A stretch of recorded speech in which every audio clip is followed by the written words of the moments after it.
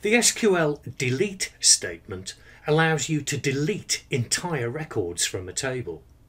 The syntax of the delete statement is shown here. It begins with the keyword delete followed by the keyword from and the name of the table from which records will be removed. An optional where clause then specifies which records will be deleted. Here's an example of the delete statement in action. The where clause specifies that records without an item in the date of birth field should be removed from the table. All three incomplete records are therefore deleted entirely. The delete statement doesn't require a field list after the keyword because whole rows are deleted. This makes the delete statement potentially very destructive. The intention of this delete statement is to remove all of the records that have a place of birth of Netherlands.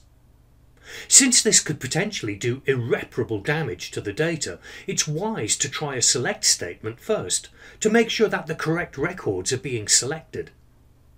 Then, when you're confident that no unintended damage will be done, you can go ahead and delete the data. Use of the delete statement with no where clause at all should be done with extreme caution. This very simple command clears out the table completely.